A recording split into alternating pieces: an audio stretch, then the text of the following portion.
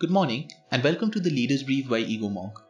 Today we take a look at what is being seen as a Polish decision against women's rights as Warsaw decides to opt out of the Istanbul Convention, examine increasing tensions between Sudan, Egypt and Ethiopia over the sharing of Nile waters, and consider what Auckland's algorithm charter for government agencies mean.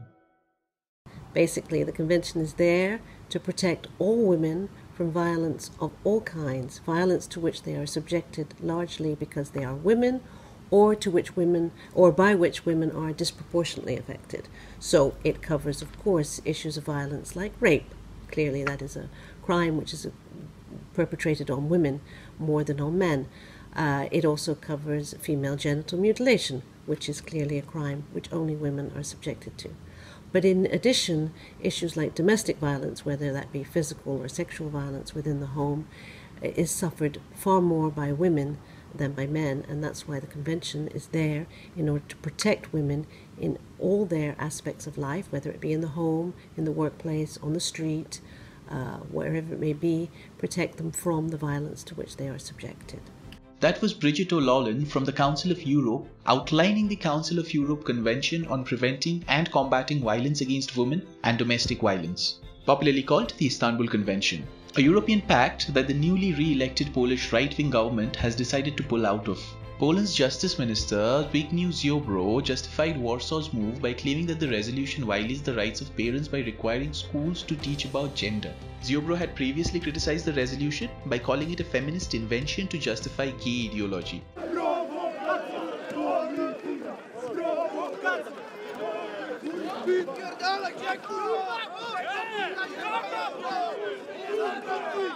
These were chants from anti-LGBTQ protesters at a pride march in Poland last year, forcing police to intervene and assert force to bring the situation under control.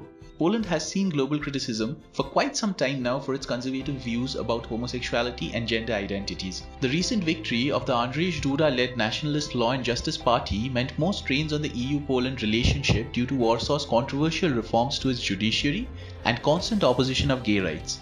In fact, President Duda had called LGBTQ rights as an ideology more dangerous than communism. Now the Polish Justice Minister's initiation to withdraw from the Istanbul Convention has led to a new wave of protests questioning the government.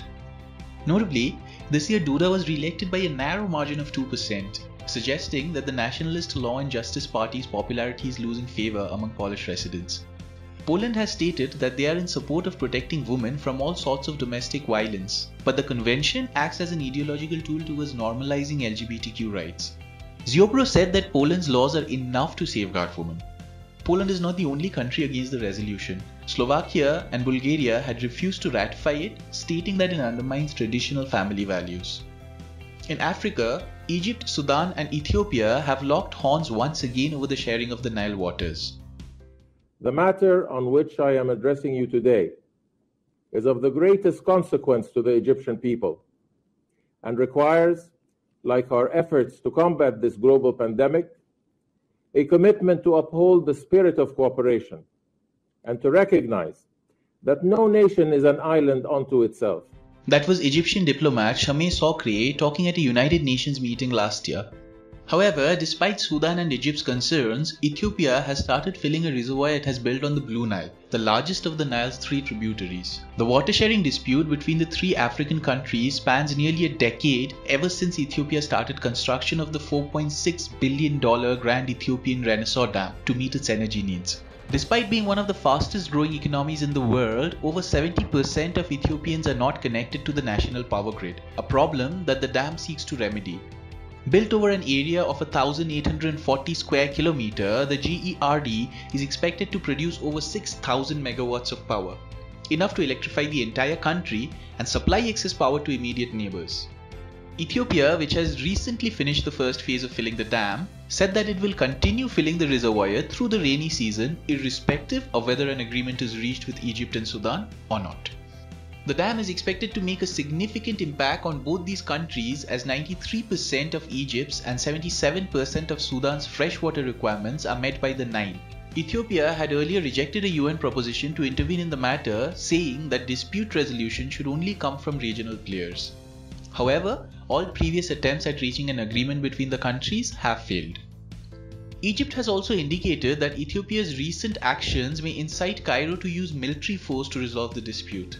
But in the last few years, containing several insurgencies, Ethiopia has formed a formidable army, and Cairo will have to reconsider its war threats. For now, both Egypt and Sudan can only hope for an arrangement with Ethiopia to allow a certain amount of Nile water into the countries and develop alternate ways of water consumption.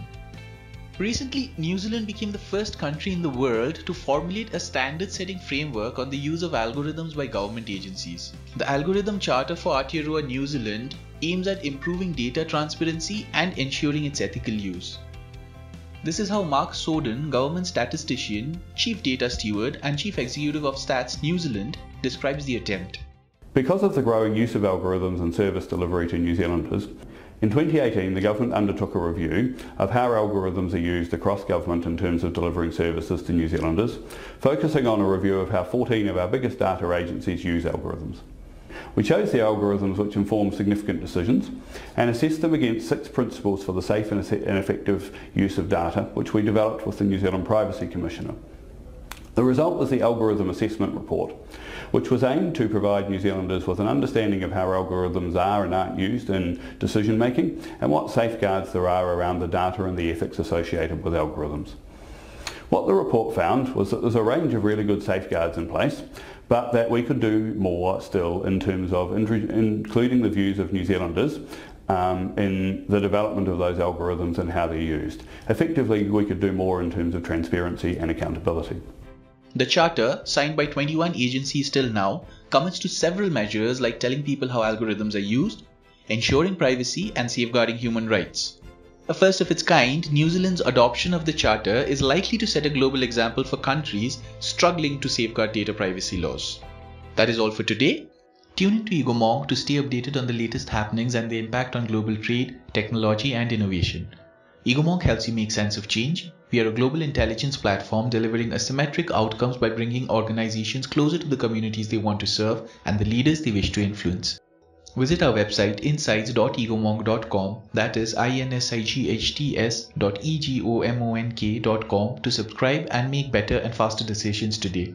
If you wish to collaborate with us then please email us at contact at egomong.com.